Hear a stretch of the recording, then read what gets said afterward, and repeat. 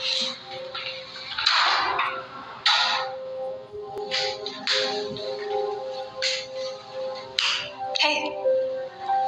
are you okay?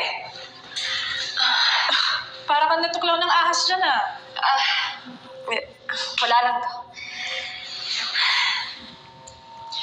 What is it? Tell me. Si Valentina lang.